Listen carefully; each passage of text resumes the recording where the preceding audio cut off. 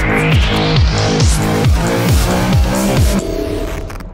Hi, my friend Sam Villa, Redken Global Artistic Ambassador here with Education Director for Sam Villa, Andrew Carruthers. How are you, Andrew? I'm doing good. Ready to braid. Yeah, we're on our third part series of this segment. I'm excited about this one. You've done good with the first two, Thanks. inside plait and outside plait. Now we're going to show them a twisted plait.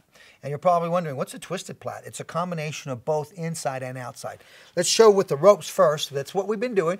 Is for those of you that are seeing it for the first time, work with ropes. You can really manipulate your fingers Get your rhythm, exercise your fingers, then take it to the hair, less frustration. So let's go, we're gonna utilize an inside movement, which was this, and then a stack movement. So you got both positions doing this, inside, outside, inside, outside, inside, outside. Braid appearing on the inside, braid appearing on the outside. We're gonna combine these with a twist. So now you're gonna really see why it was important to learn how to manipulate your fingers this way.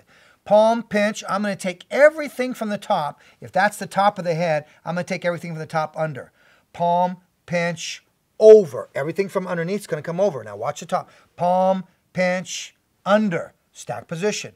Palm middle, because I'm in stack position. Based on those other videos, where do we palm? Middle. Palm, pinch the left X. Now I'm going to go to an over position. That comes over. Now here we go.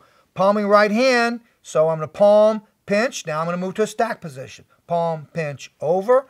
Palm, pinch, stack. Palm, pinch, over palm pinch stack, palm pinch over, palm pinch stack, palm pinch over. Now let's hold it like that's the head. And that's the, she's looking that way. This is the side of the head. Palm pinch under. Now palm pinch, look at me go to an over position. Palm pinch under. Palm pinch over. Now if you're a braider that does this, it's very difficult to get that effect doing this motion. Okay, so let's take it to the head and show them the difference, Andrew.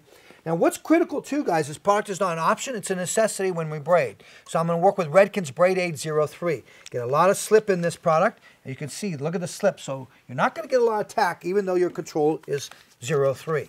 So let's go in and let's emulsify. Now watch how we apply. I rake, look at the palm, back of my hand get through, come underneath. Palm of my hand has product, and the top of my bottom hand has product. So we're going to work in this section. Now, when we start this, Andrew, what we're going to do is we're going to start with a twist right away. So we're going to take three sections, diagonal forward section, and we're going to twist away from the head. So we're going to take three sections, look at my palm come underneath, and I twist away from the head. Now, don't let that twist bother your mind and your eyes and what you see. Just treat these as three separate sections. So let's treat them now as three separate sections. And remember what I said, everything from the, from the top goes under. So my right hand palms, pinch, under. But now as I go under, look what I'm doing. Now can you see I'm twisting that? So can you see why this position was critical? If had I done a typical cornrow motion that I've learned, then I wouldn't be able to twist. So this position, pinch, is critical because it allows you to twist. Now watch me maintain that. Palm, pinch, over. Now this one, I turn, twist towards the face. So everything is twisting towards the face, goes back in. Let's do palm, pinch, under. Now let's slice and feed, and we're going to add some hair underneath. So I slice, and I add into that stack position. Once I have that in that stack position, you continue your, mo your motion, your rhythm. Palm, because I'm in a stack position, what do we palm? The middle section. So I palm, now watch as I palm. I twist, pinch, under. And as I bring this over, I twist it. Add some hair, now watch me twist, twist, back to the pinch, palm, pinch, under, and slice and feed. And middle, palm, twist, look at me twist. Look at my thumb, holds the twist, palm, pinch, over, slice and feed. Clean your sections up. Look at the control I have, three sections. Palm, middle, towards the face, twist towards the face. Palm, pinch, under. Now slice and feed. So everything on the top is in a stack position. Now watch as I palm here, look what I do. Twist. Get a nice strong twist in. Maintain the twist. Move to an over position. Over. Okay. Give it a little twist just to combine these sections together. Back into your hand. Now we come through. Palm. Pinch. Twist. Under. Add some hair.